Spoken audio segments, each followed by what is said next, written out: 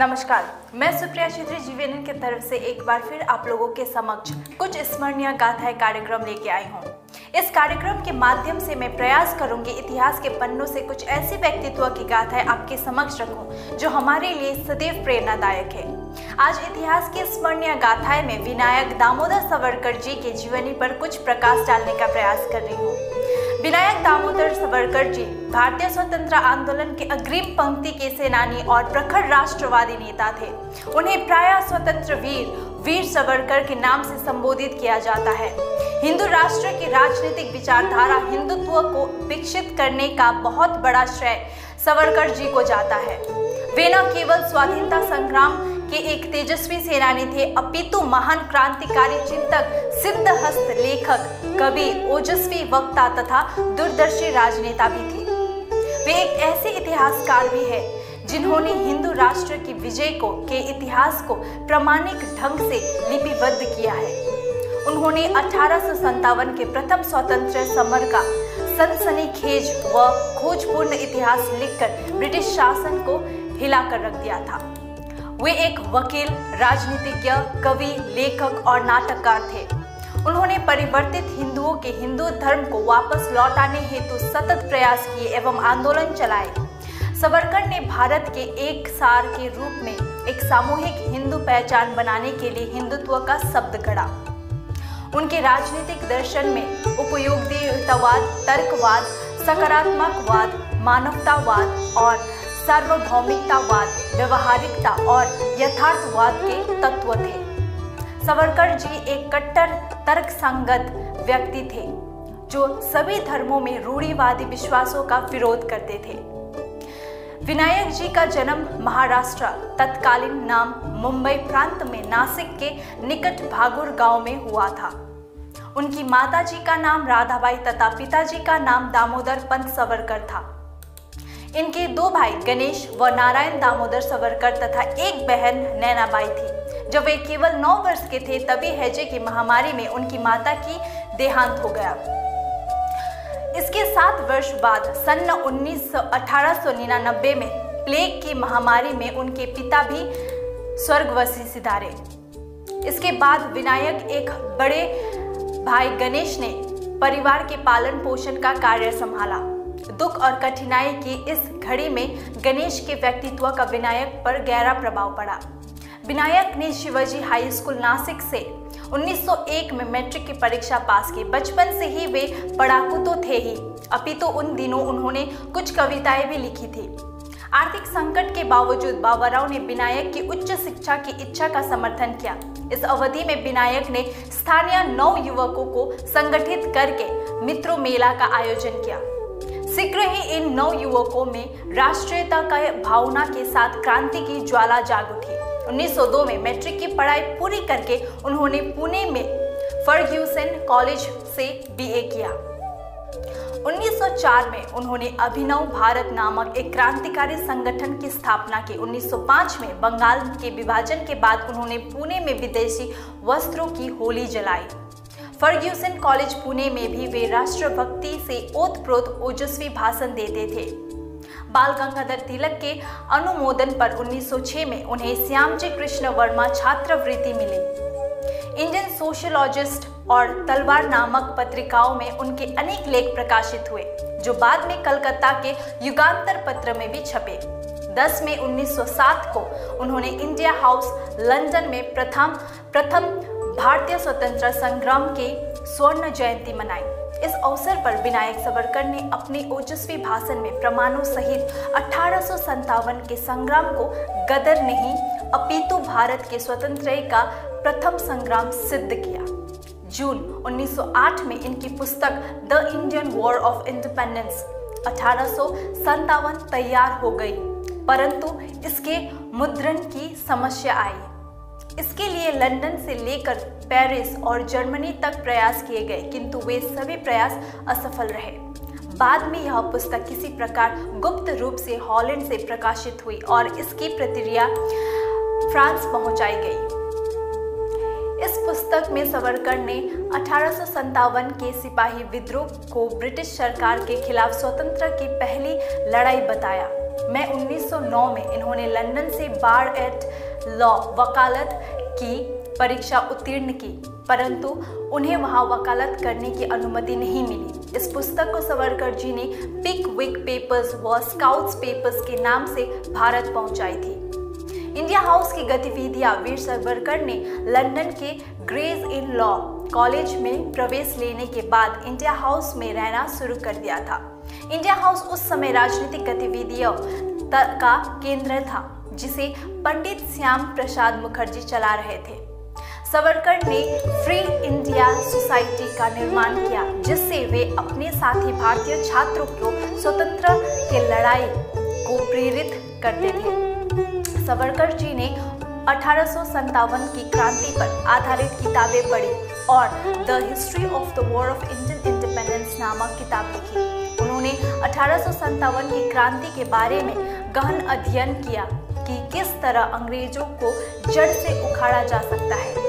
London और मर्सिले में गिरफ्तारी लंदन में रहते हुए उनकी मुलाकात लाला हरदयाल से हुई, जो उन दिनों इंडिया हाउस को देखरेख करते थे। एक जुलाई 1909 को मदनलाल ढिंगरा द्वारा विलियम हॉट कर्जन वाइली को गोली मार दिए जाने के बाद उन्होंने लंदन टाइम्स में एक लेख भी लिखा था।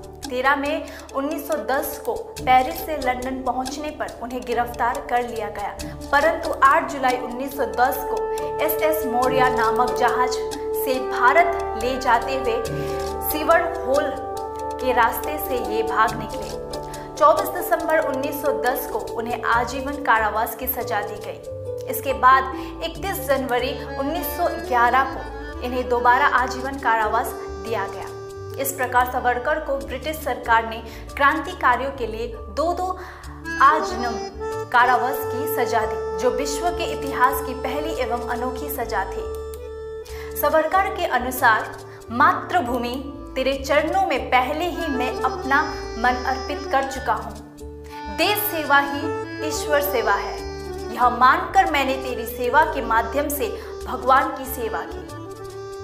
सावरकर ने अपने मित्रों को बम बनाना और गुरीला पद्धति से युद्ध करने की कला सिखाई। 1909 में सावरकर के मित्र और अनुयायी मदन लाल ढिंगरा ने एक सार्वजनिक बैठक में अंग्रेज़ अफसर कर्जन की हत्या कर दी। ढिंगरा के इस काम से भारत और ब्रिटेन में क्रांतिकारी गतिविधि बढ़ गई। सावरकर ने ढिंगरा को राजनीतिक और कानूनी सहयोग दिया। लेकिन बाद में अंग्रेज़ सरकार ने एक गुप्त और प्रतिबंधित परीक्षण का ढिंगरा को मौत की सजा सुना दी, जिससे लंदन में रहने वाले भारतीय छात्रा भड़क गए। सावरकर ने ढिंगरा को एक देशभक्त बताकर क्रांतिकारी विद्रोह को और उग्र कर दिया था। सावरकर की गतिविधियों को देखते हुए अंग्रेज़ सरकार ने हत्या की योजना में शामिल होने और पिस्तौलें भारत भेजने के जुर्म में फंसा दिया, जिससे बाद, जिसके बाद सावरकर को गिरफ़्तार कर लिया गया। अब सावरकर को आगे के अभियोग के लिए भारत ले जाने का विचार किया गया। जब सावरकर को भारत जाने की खबर पता चली तो सावरकर ने अपने मित्रों को जहाज़ से फ्रांस के रुकते वक्त भाग जाने की योजना पत्र में लिखी। जहाज़ रुका और सावरकर खिड़की से निकलकर समुद्र के पानी में तैरते हुए भाग गए। लेकिन मित्र को आने में देर होने की वजह से उन्हें फिर से गिरफ़्तार कर लिया गया। सवरकर की गिरफ्तारी से फ्रेंच सरकार ने ब्रिटिश सरकार का विरोध किया। नासिक ज़िले के कलेक्टर जैनशन की हत्या के लिए नासिक षड्यंत्र कांड के अंतर्गत इन्हें 7 अप्रैल 1911 को काला पानी की सजा पर सेलुलर जेल भेजा गया। उनके अनुसार यहाँ स्वतंत्र सेनानियों को कड़ा परिश्रम करना पड़ता था। कैदियों को यहाँ नारियल छिलकर उसमें से तेल निकालना पड़ता था। साथ ही इन्हें यहाँ कोल्हू में बैल की तरह जूत कर सरसों व नारियल आदि का तेल निकालना पड़ता था। इसके अलावा उन्हें जेल के साथ लगे व बाहर के जंगलों को साफ़ कर दलदली भूमि व पहाड़ी क्षेत्र को समतल भी करना होता था। रुकने पर उन्हें कड़ी सजा व बेत व कोड़ों से पिटाई की जाती थी। इतने पर भी उन्हें भरपेट खाना नहीं दिया जाता था। सावरकर 4 जुलाई 1911 से 21 मई 1921 तक पोर्ट ब्लेयर की जेल में रहे।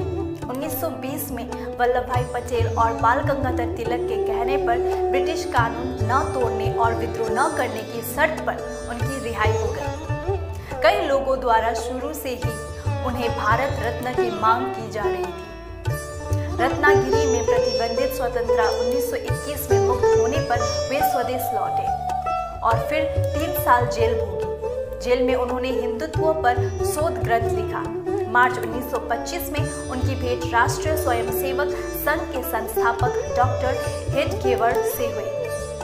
फरवरी 1931 में इनके प्रयासों में से बंबई में पतित पावन मंदिर की स्थापना हुई, जो सभी हिंदुओं के लिए समान रूप से खुला था। 25 फरवरी 1931 को सवरकर ने बम्बई प्रेसिडेंसी में हुए अस्पृश्यता उन्मूलन सम्मेलन की अध्यक्षता की। 1937 में वे भारतीय हिंदू महासभा के कर्णवती अहमदाबाद में हुए 19वें सत्र के अध्यक्ष चुने गए, जिसके बाद वे पुनः सात वर्षों के लिए अध्यक्ष चुने गए। 15 अप्रैल 1938 को उन्हें मराठी साहित्य सम्मेलन का अध्यक्ष चुना गया। 13 दिसंबर 1937 को नागपुर की एक जनसभा में उन्होंने अलग पाकिस्तान के लिए चल रहे प्रयासों को असफल करने की प्रेरणा दी थी। 22 जून 1941 को नेताजी सुभाष चंद्र बोस से हुई। 9 अक्टूबर 1942 को भारत की स्वतंत्रता के निवेदन सहित उन्हें, उन्होंने चर्चित के तौर पर भेजकर सूचित किया। सवरकर जीवन भर अखंड भारत के पक्ष में रहे।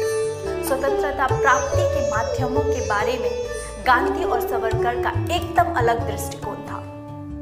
19 अप्रैल 1945 को उन्होंने अखिल भारतीय रजवाड़ा हिंदू सभा सम्मेलन की अध्यक्षता की। अप्रैल 1946 में बंबई सरकार ने सवरकर जी के लिखे साहित्य पर से प्रतिबंध हटा लिया। 1947 में इन्होंने भारतीय भारत विभाजन का विरोध किया। महात्मा रामचंद्र वीर नामक हिंदू महासभा के नेता एवं संत ने उनका समर्थन किया। वीर सावरकर 20वीं शताब्दी के सबसे बड़े हिंदूवादी रहे। विनायक दामोकर दामोदर सावरकर को बचपन से ही हिंदू सबसे बेहद लगाव था। वीर सावरकर ने जीवन भर हिंदू और हिंदुस्तान के लिए ही काम किया। वीर सावरकर को छह बार अखिल भारतीय हिंदू महासभा का राष्ट्रीय अध्यक्ष चुना गया। 1937 में उन्हें हिंदू महासभा का अध्यक्ष चुना गया, जिसके बाद 1938 में हिंदू महासभा को राजनीतिक दल घोषित कर दिया गया। हिंदू राष्ट्र की राजनीतिक विचारधारा को विकसित करने का बहुत बड़ा श्रेय सावरकर को जाता है। उनकी इस विचारधारा के कारण आज़ादी के बाद की सरकारों ने उन्हें वह महत्व नहीं दिया, जिसके वे वास्तविक हकदार थे। 15 अगस्त 1947 को उन्होंने सवरकर सदांतों में भारतीय तिरंगा एवं भगवा दो दो ध्वजारोहण किए। इस अवसर पर प्रतिक्रिया व्यक्त करते हुए उन्होंने पत्रकारों से कहा कि मुझे स्वराज्य प्राप्ति की खुशी है, परंतु वह खंडित है, इसका दुख है।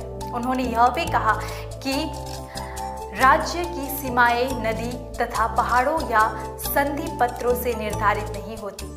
वे देश के नौ युवकों के शौर्य, धैर्य, त्याग एवं पराक्रम से निर्धारित होती है।